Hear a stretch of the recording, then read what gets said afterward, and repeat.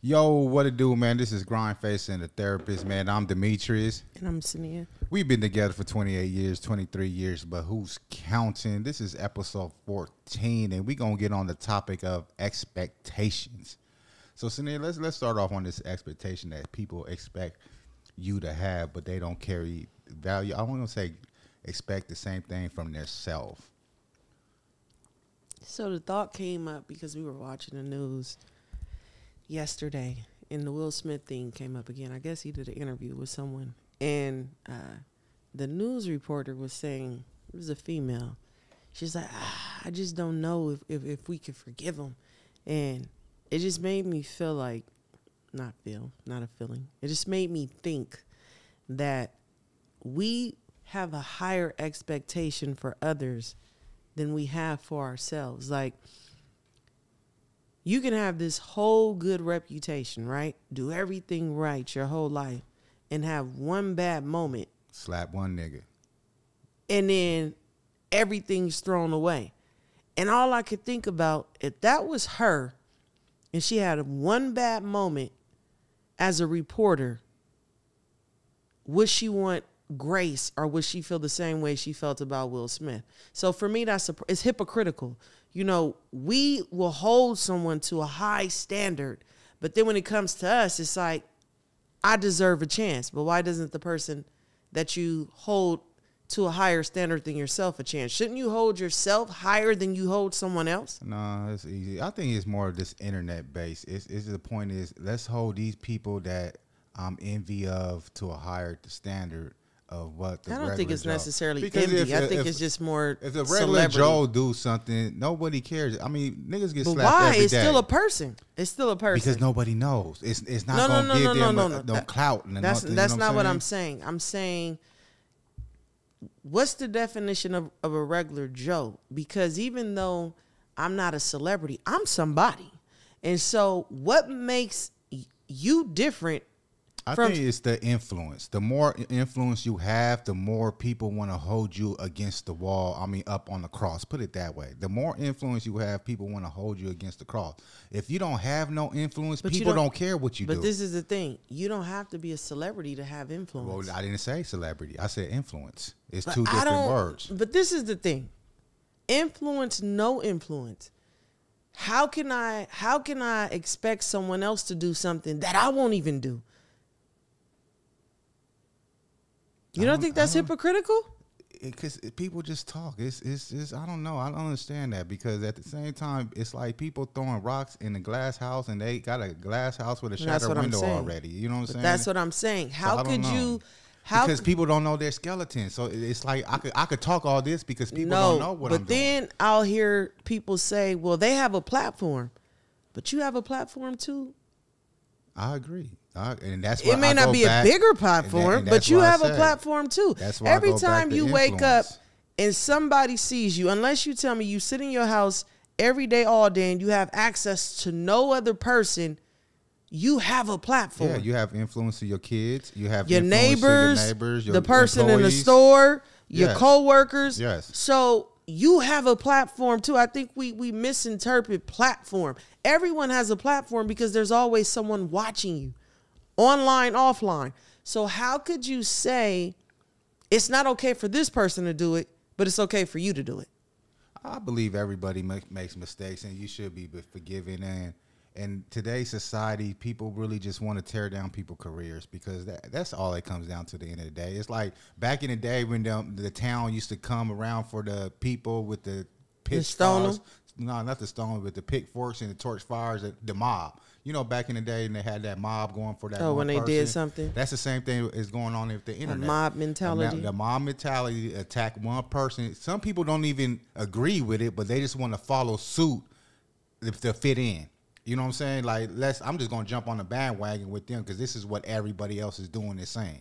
It's it's just crazy. I'm just a person that I personally feel like I always give grace because I would want grace extended to me.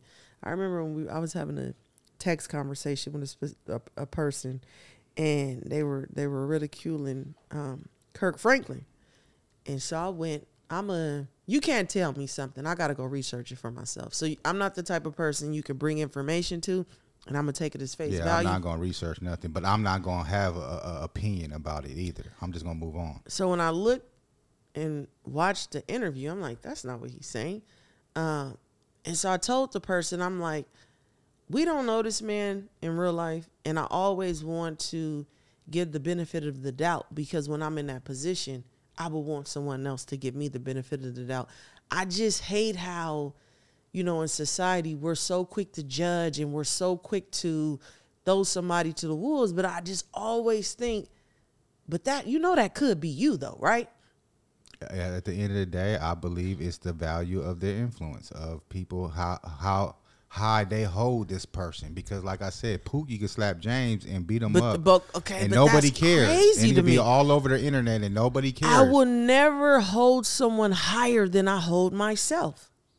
Because what you're basically saying is this person is somebody. Yes. I'm nobody. I'm somebody. I'm always going to hold myself higher than I hold the next man or woman. Yes, you somebody, but the internet don't think you're somebody. I don't care what So- the internet so- thinks. But that's who the mom mentality is. But The- listen to what I'm saying. I'm not mob. talking about the internet. I'm talking about the individual mindset of the person. You, you hold someone higher than you hold yourself. So you feel someone should conduct themselves higher than you should conduct yourself? That tells me you don't think highly of yourself. True, true. So leave it to an example of, so you could break it down to the people, like example of not holding yourself accountable. You know what? I'll break it down to. I just had an incident, man, with um I, and this is going put birds on blast. Yeah, this goes where holding yourself accountable. Like, um, I bought a vehicle, the fuse, they put the wrong fuse in, and they didn't want to take responsibility of Don't say they, an employee. employee manager of the the service department didn't want to take responsibility and cover my towing fee to bring the vehicle in. It's basically telling me it was shit happens. Like basically sums up. Shit happens. This is the process of owning one of these um side by side vehicles. So um I made a video and the higher up reached out to me and told me like this was a total BS. You know what I'm saying? And basically cover my toll fee, send me a little promo promotional package and everything and apologize. But at the end of the day, we we holding people accountable for something they won't hold themselves accountable. It's like, come on, man, it, it, this, you know what I'm saying? This is it's crazy. But she's on her phone. She in her emails once again, sidetracking, so she ain't engaged with me. I am engaged. I got lost somewhere in my conversation. I don't know. Focused on me. But Right. anyway, Goodness. you talking about Berts, but this is my thing. Again, I always think if it was me.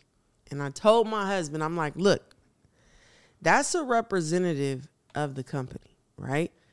Even though you should know who you have representing your company. I don't fault the company because I have employees, right? I don't always know what they do when I'm not there.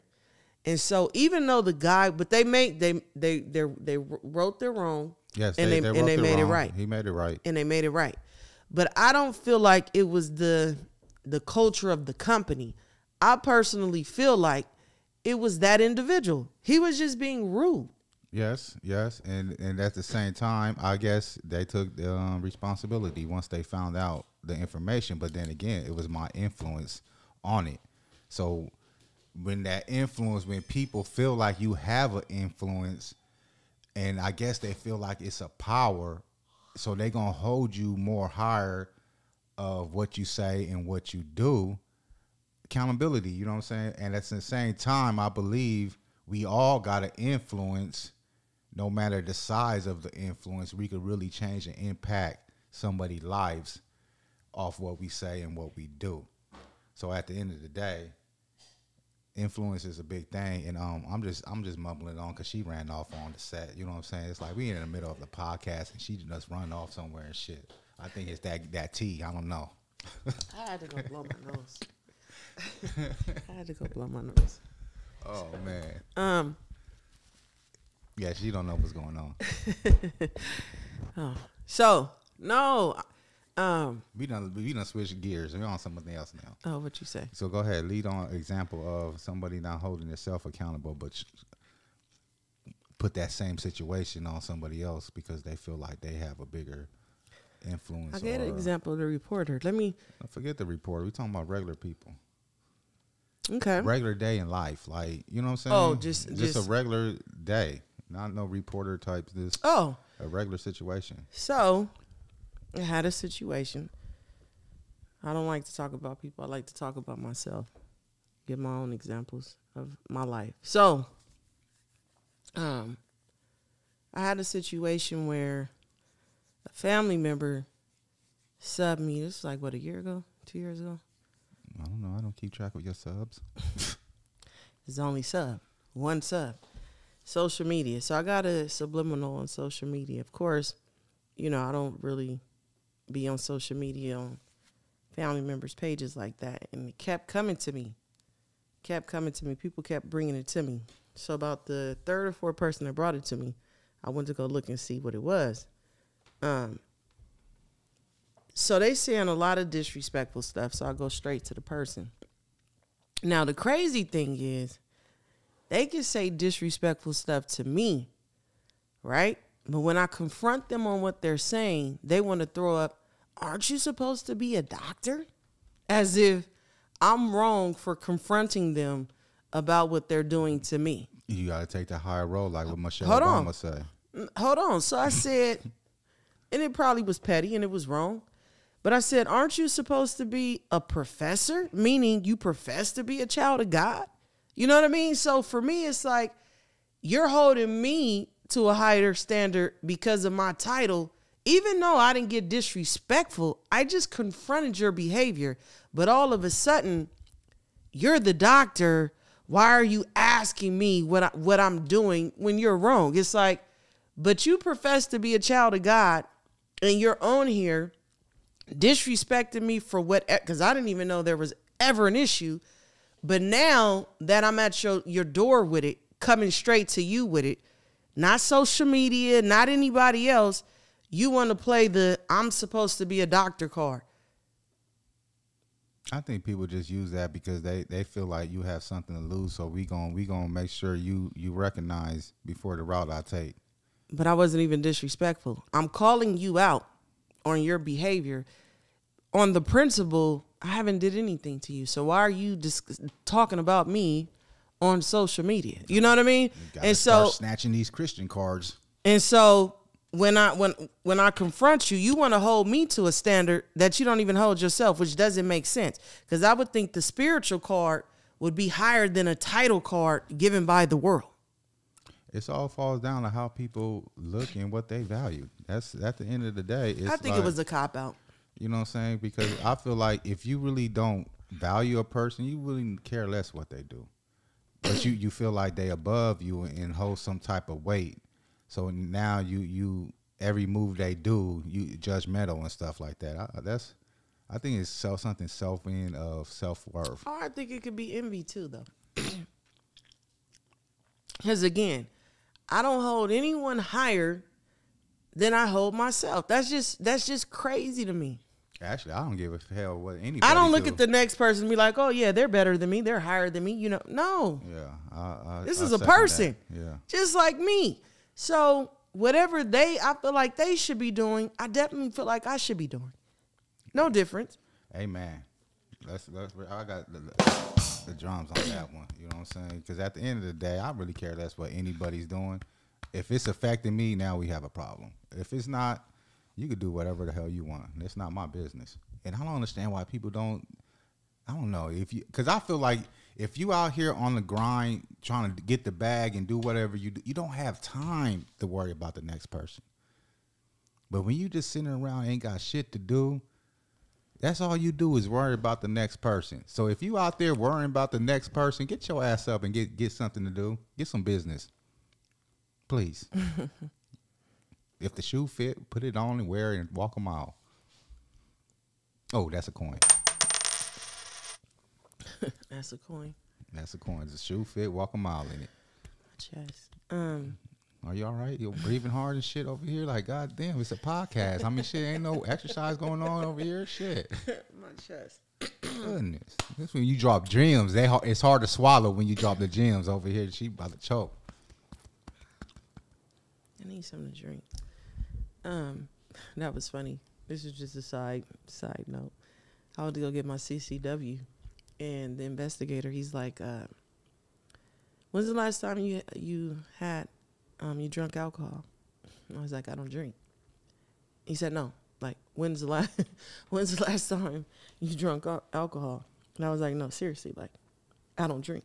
And it was crazy. This is just a side funny to me conversation that he couldn't believe or fathom the thought that I never well I'm not gonna say I never. I drank alcohol maybe three times as an adolescent. Never that got, was your answer. You was lying. I, That was hold your on, answer hold on, hold when on, I was on. After I hold on, after I thought about it,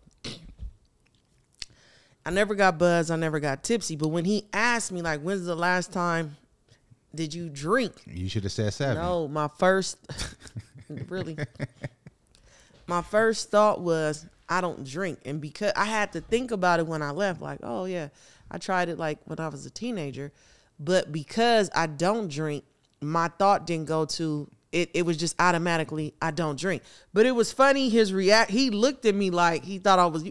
It was so funny his look, and I kind of was like, dang, he think I'm lying, right? And he's the investigator for me to get my CCW. But that was even crazy to me too, because it's like people think too because they do something like you have to do it too. Because when I tell people I don't drink alcohol, we was on the plane, Yeah. and uh, the guy was like, "So Dimitrius has already been at the bar for Hey, hours." Somebody telling my business out there like I'm an alcoholic. I don't know what he was doing. I wake up, I, at see bar. videos. He got flight attendants bar. doing videos of him around the plane. I'm like, what are you doing? I was in the bar in the plane. You know what I'm saying? Making So I get up, I go look for him, and he's at the bar, and so I sit down or whatever, and um, the the bartender's like, "You want a drink?" I was like, "Yeah, apple juice." So he looks at me crazy, like apple juice. I was like, "Do you guys have apple juice at the bar?" He was like, "Yeah." He was like, "You sure you don't want to drink?" I don't, and I'm like, "I don't drink," and he just looks at me crazy, and it's just like.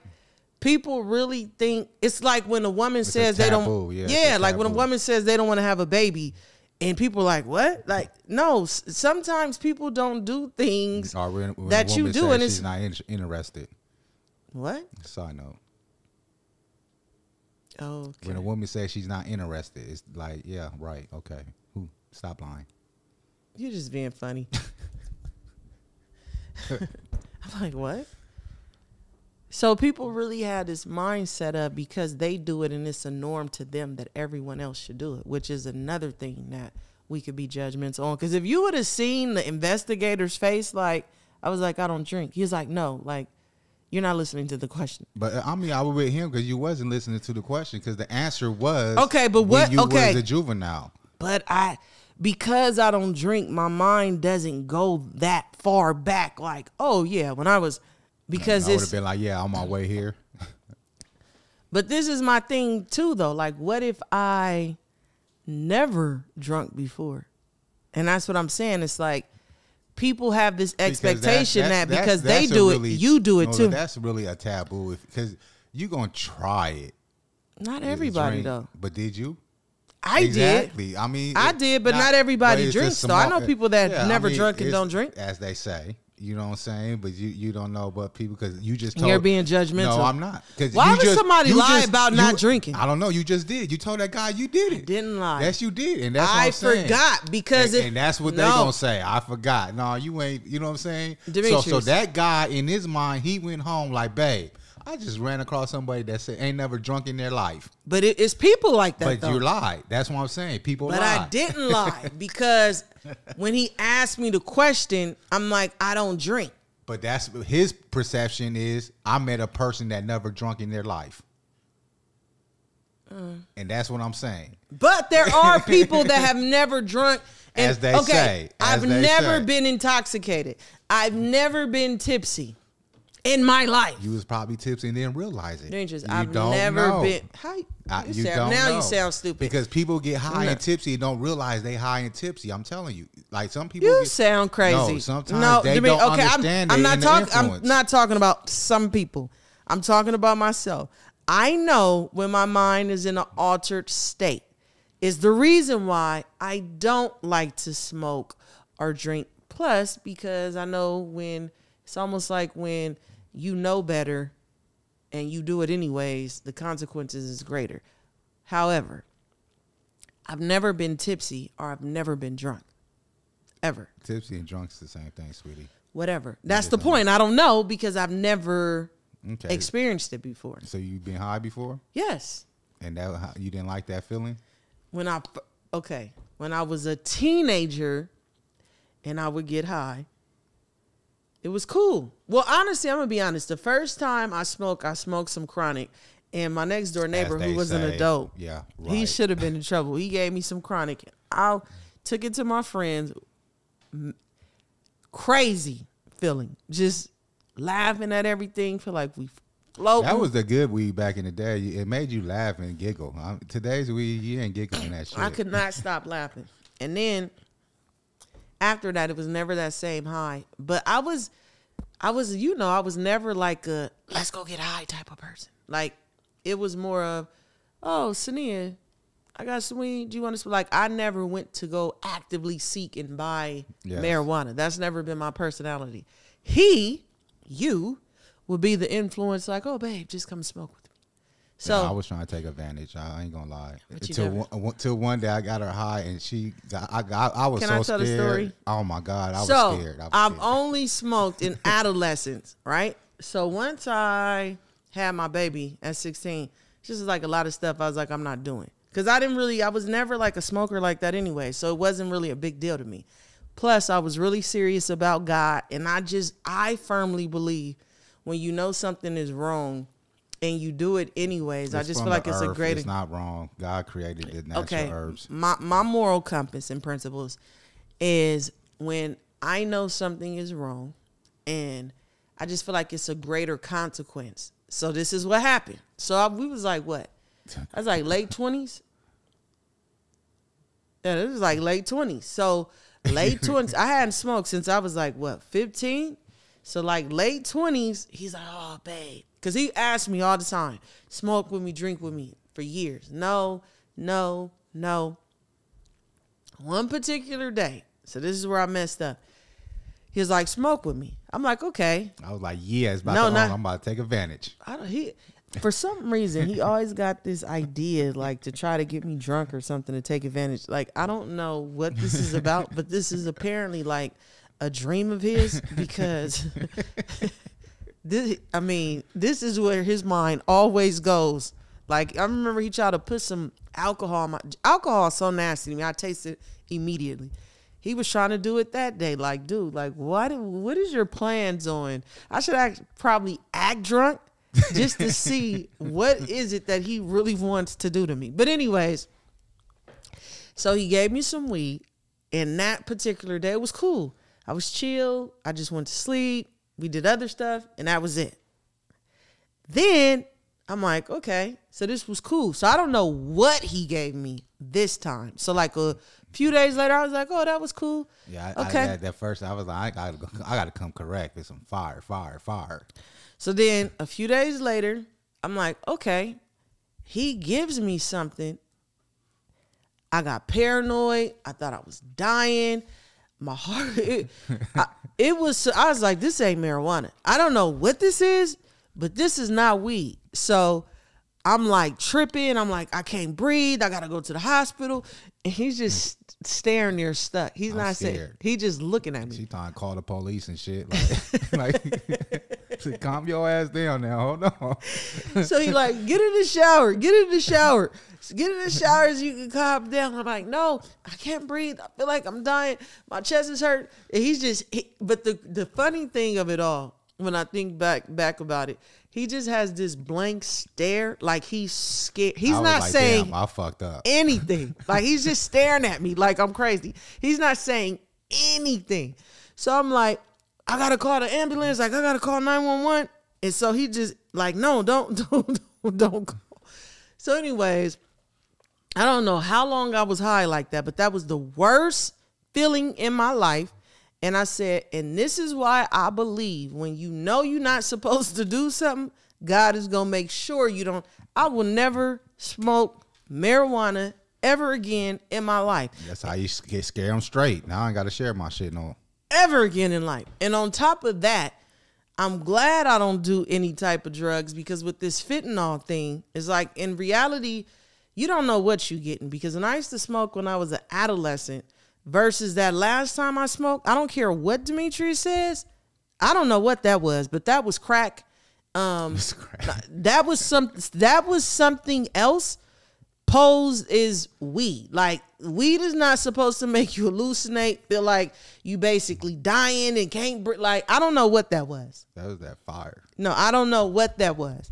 That was some crack, something that was laced that they told him was marijuana. No, but today's time, you really don't know what's in these drugs and what people put in shit and because we always had a rule when we was growing up is like you got to roll that in front of us. You can't come to the, the event or to the social circle with a pre-roll blunt or joint. Think about it now. A lot of these everybody got pre-rolls. You know what i'm saying? Back in the day that was a no-no. You know what i'm saying? You got to break that down roll it up in front of us so we could see what's what actually going inside of it. You know what i'm saying? So it's like today's time you really don't know what's you smoking on and what you getting your hands on especially with that fentanyl going on around crazy. That's a new. I don't know. These kids is on some new shit. I told Dimitrius, I'm said if you ever do something like that to me again, I'm definitely calling the police. I got her um, one day with my um. I made some um a steak. Ooh, it was nice and juicy. I had some marijuana honey. That was not too long ago, I but glazed, I was not. I glazed that, but I didn't offer it to her. I just put I put my steak in the microwave, and her little greedy ass came in there and ate it. You know what I'm saying? I, no, so that was that was like not even a year ago. So he little greedy ass. That wasn't yours. And I don't even like steak. So no, it was carne asada. I don't even. No, it was a, a it's carne asada steak. Yeah, I don't know what it was. T-bone steak. He had no because Dimitrius is lying. So Dimitrius is the cook. I used to be the cook. Now Dimitrius is the cook. So he cooks me dinner and everything. Like when I come home from the office and different things, he'll have dinner ready for me. So he had food in the microwave. So I assumed it was my plate. And so No, um, you had your plate before that. You oh, I did. for a second. and that's what I'm saying. That wasn't yours. You ate my steak. And you know what I'm saying? And then we went to the, the circus. Then we went to the circus, and I, I, am sitting here watching her because I know she, I know she high. You know what I'm saying? So she at the circus. I need some popcorn, and got the munching on that popcorn like doom doom doom doom. I was dying. I said, "Look, sire, she's high." I didn't I said, even know.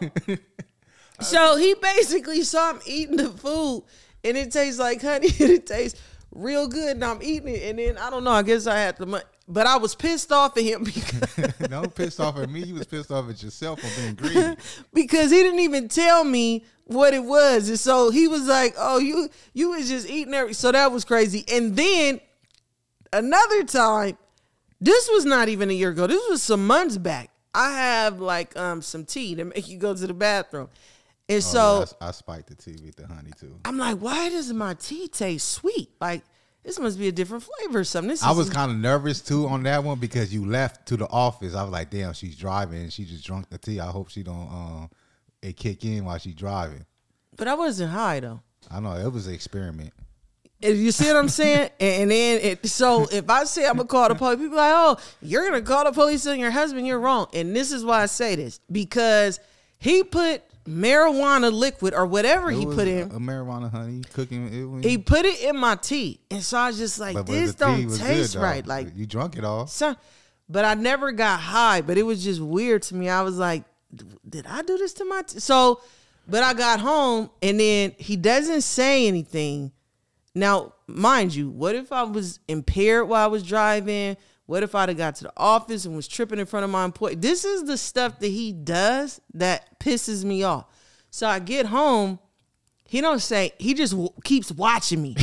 he doesn't. Say, he, he just keeps watching me for hours. Talking about, damn, you never look at me like that when I come in before. he just keep watching me. So then the next day, he was like, "Oh, how's your tea taste?" And I was like, "What?"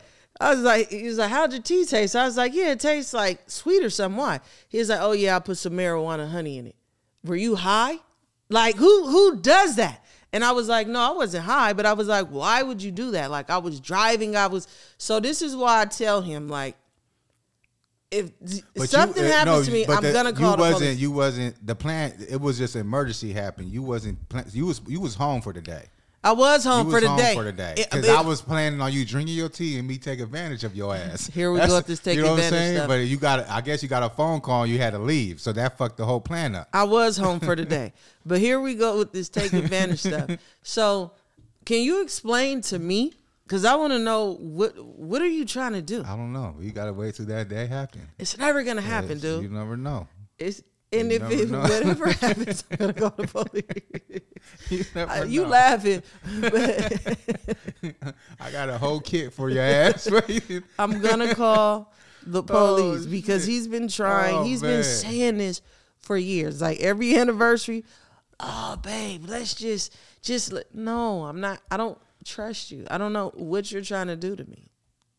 I don't know what you're we trying to done do. got sidetracked off the, the conversation. Like nobody want to hear your keekiness, but um, so holding mine? people to accountability. Um, I guess, oh man, that that topic was boring, huh? So we done switched it up. So let's go on something else, It was man. boring. Yeah. So what? what We can what- wrap it up No, we can't. because I'm gonna go to another podcast. I got something else. This one's too about. short, man. We still need It's to feed 30 more minutes. We still feed, feed the people something else, man. Let's talk about um. It's not too short. Let's go go, go to our traveling, man. Let's No, because that's a whole other podcast. So That's the other podcast. So we're gonna we're gonna cut this one short. So um so basically what y'all learned from this episode right here was basically how you gonna tell them what they learn?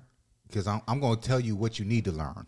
Is basically stop holding other people at a higher what they call it plateau a Love s- a higher level, standard a higher standard than yourself. You know what than I'm you saying? hold yourself. if you out there a fucking mess, let the next man be a mess. Don't judge him. You a mess yourself. You know what I'm saying? And stop trying to take advantage of your partner. and don't take advantage of your partner. But if you do, hey, more power to you, man. So i'm um, Saniyyah, wrap this up because um, You're giving people bad advice. You could play with your partner. There's nothing wrong. Not if the partner doesn't don't be don't with. don't don't don't try to get your partner on that like that that extreme drugs though, like cocaine and um these pills. These I don't even know the new drugs because I ain't even into that. So whatever new drugs is out there in Google, you know what I'm saying on Snapchat and stuff.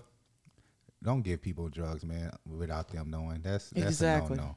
You know what I'm saying? But marijuana ain't a drug; it's a medication. It is because It's you don't know what's in it. But no, no, no, no, no, no, no, no. You don't know what's in it.